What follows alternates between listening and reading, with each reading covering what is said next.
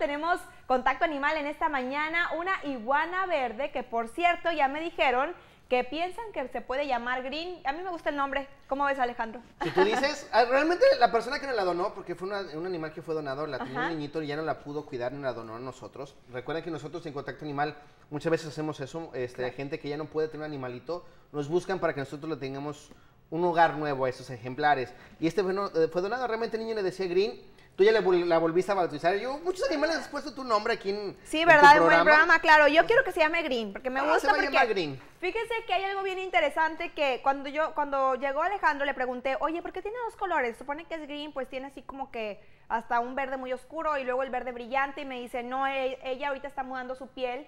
Entonces es normal que pues tenga algunas partes más oscuras que otras, pero se va a poner completamente verde, brillante. Sí, realmente no sé si la toma alcanza a, apreciarse hay lugares donde se ve la piel que ya se está desprendiendo. Recordemos que la mayoría de los reptiles este, cambian o mudan su piel, es un proceso muy natural. Esta, esta iguana realmente ya está haciendo su proceso de muda, entonces va a ver en su cuerpo diferentes partes que se le están eh, descamando, es muy normal en ellos. Todos los reptiles cuando empiezan a mudar de piel, la piel vieja, por así decirlo, como tú dijiste, se va muriendo, se va perdiendo las células, entonces se empieza a ver mucho más opaca. En este caso, este ejemplar, pues ya empieza poco a poco a tener un color más verde, como lo podemos ver aquí en la pancita, y obviamente se va a poner totalmente verde, por eso le llaman iguana verde. Es una de las dos especies de iguanas que se utilizan. La encontramos desde Centroamérica hasta algunas partes, ya en Estados Unidos la encontramos, que gente lamentablemente las compra y las libera. Recordemos que ese tipo de animales son exóticos y no deben de ser liberados en cualquier bosque, en cualquier río, porque hacemos un daño hacia lo que viene siendo el ecosistema que encontramos. Ese tipo de iguanas son las más usadas como mascotas, son muy fáciles de cuidar realmente. Su alimentación está acerca de lo que son verduras, algunos frutos ocasionalmente, pero más que nada es verduras. Por eso está verde, ¿verdad? Exactamente. Ellos, ellos viven sobre todo en troncos, entonces se tienen que mimetizar o poderse guardar de su medio ambiente y lo ellos, como viven las copas de los árboles, tienen que ser totalmente verdes, por eso el color verde de ese tipo de iguanas. Lo que sí, en muchos lugares las, las, las matan para comer, las en Centroamérica las hacen en sopa, las hacen en tacos, este, hay muchos lugares que lo que hacen es, este tipo de animales le cortan la cabeza para beberse la sangre, ahorita que estabas hablando de sangre, me recordaste, este, y dicen que te ayuda para la virilidad de los hombres. Hay muchos mitos y leyendas acerca de ese tipo de animalitos. Lo que sí, es muy cuando tenemos este tipo de animales es la cola es un, ejemplar que tiene esa esa es claro es como que su arma no de defensa. Y los latigazos sí son muy buenos es su método de defensa más usado. Desprende la cola ella puede desprender la cola todas las lagartijas tienen esa capacidad.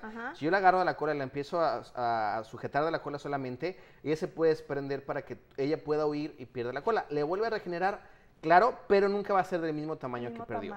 Yo creo que ella nunca la ha perdido porque realmente no, está... No, está totalmente completita. Sí, completa, mira. Lo que sí es muy importante cuando tengamos un animal de mascota, recordemos que antes de, darles manejo o manipularlos y después de darles manejo siempre debemos de lavarnos las manos, mucho, muy importante. Antes y después. Antes y después. Muchas veces nosotros tenemos bacterias que le podemos pasar a los reptiles. Wow. O muchas veces al final ellos traen bacterias que nos pueden pasar a nosotros. Entonces es de vital importancia siempre lavarnos las manos después de manipular cualquier tipo de mascota, desde un perro, desde un gato, desde un reptil, desde un novio, todo siempre hay que lavarse las manos. Oye, cuéntame un poco acerca, me gusta eso de novio, ¿verdad? Cuéntame, por ejemplo, eh, si la tenemos en la casa, ¿es recomendable que esté en alguna jaulita? ¿Tiene algún...? Este tipo de animales se les, se les acondiciona algo que se le llama un terrario, que es una pecera, es una pecera con tapa, donde tiene que tener un, sustrato. Dependiendo del tipo de reptiles, el tipo de sustrato que utilizamos, y sobre todo eh, el tipo de decoración. Ellos viven en troncos, entonces es importante poner tronquitos, y lámparas especiales, lámparas de UV que ellos les dan lo que son los rayos del sol, les ayuda bastante. Los reptiles en cautiverio pierden mucho el calcio o se descalcifican, entonces es de vital importancia que nosotros lo agreguemos, ya sea en algún polvo en la comida y sobre todo con lámparas especiales para que puedan calcificarlo. Hay muchos eh, arneses que le podemos poner a este tipo de animalitos para poderlo sacar a lo que viene siendo al sol y les ayuda bastante, eso es muy bueno. Y en contacto animal es lo que hacemos, o sea, que la gente sepa sobre todo qué cuidados deben tener para cada animalito y sobre todo que ese tipo de animal tiene que tener cuidados especiales. Definitivamente. Cualquier ejemplar que compramos como Ahora, animal de que tenemos también que, recordar que cualquier animalito requiere su espacio. Claro. Entonces, cuando vamos a adquirirlo hay que pensar en que pues requiere atenciones, requiere cuidados y requiere un buen lugar para pues para estar, ¿no? Y sobre todo que va a llegar a crecer, este ejemplar llega a crecer de un metro y medio a dos metros, dependiendo si es macho o hembra. o pues sea que ahorita está chiquitito. Sí, si ahorita debe tener menos de un año, este, lo que sí va a llegar a crecer y obviamente requiere un hábitat mucho más grande, mucha más alimentación, es importante. Cualquier animal tenemos que investigar, hacer nuestra tarea previa. Si vamos a comprar un perro, bueno, ¿qué raza es? ¿Cuánto va a crecer? ¿Qué es lo que va a requerir? Y obviamente en este caso un reptil también. Le recuerdo que en Contacto Animal lo que hacemos es eso. Hay gente que nos habla para darle manejo a sus animales, eh, darles la asesoría adecuada cuando va a llegar a adquirir algún animal de mascota. Sí, sí estudiamos. Que nos vean haciendo el ridículo los espectáculos es diferente. no, pero sí, sí estudiamos, ¿no? Y cada, cada vez que vamos a tener contacto con un animalito sí es importante leer e investigar exactamente bien. Queremos muchas cosas. Hay mucha gente que cree que comen insectos, que come carne, y estamos equivocados. Por eso se mueren los animalitos, porque no tenemos la información adecuada. En contacto animal es lo que nos adecuamos. Y sobre todo cuando vamos a los espectáculos, a las fiestas infantiles, a los shows que damos, eh, las exhibiciones, damos eso, datos curiosos, datos importantes. ¿Y si, y si alguien quiere tener un contacto animal, ¿dónde te puede encontrar? Nos podemos ir a nuestro teléfono que es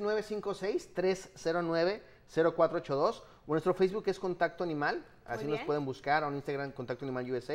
Ahí estamos, en YouTube también Contacto Animal USA, para que vean las exhibiciones que hacemos, obviamente las entrevistas, y sobre todo que si van a comprar un alimento en serio, investiguen primero, porque luego ahí la gente los compra, los anda tirando, los anda liberando, eh, y si tienen un animalito que ellos pueden cuidar, búsquenos y nosotros le podemos conseguir un buen hogar. Un buen hogar, claro, cuidarlo. Muy bien, ¿puedo tocarlo? Claro, lo puedes agarrar. No, no, no. No, no, vaya a ser que, no vaya a ser que, dices que sus uñas son filositas, ¿verdad? No, se las quedamos de limar hace poquitito, y aparte obviamente los troncos, por la mano, sí, no pasa nada. ¿Así? ¿Ah, ¿Tú crees? Para que se sienta cómoda, ahí está. Muy bien. Ay, vamos a ver sus. Ay, va a empezar. no, mira, pon tu mano así abajito. ¿Abajo? Abajito, abajito, abajito. Se me gancha en la piel. y ahí se va a quedar ahí contigo nada más. No, como que no quiere, ¿eh? Mira. No hace nada, no hace nada. Oye, corren bien rápido, ¿no? Mucho, muy rápido. Realmente tienen una agilidad muy buena. Estos tipo de animales, a pesar de que son grandes, llegan a, a, tener muchísima velocidad. Muy bien. Bueno, pues con esto vamos a a una pausa y continuamos con más de Buenos Días Fronteras. Tú no le cambies, los espero. A ver.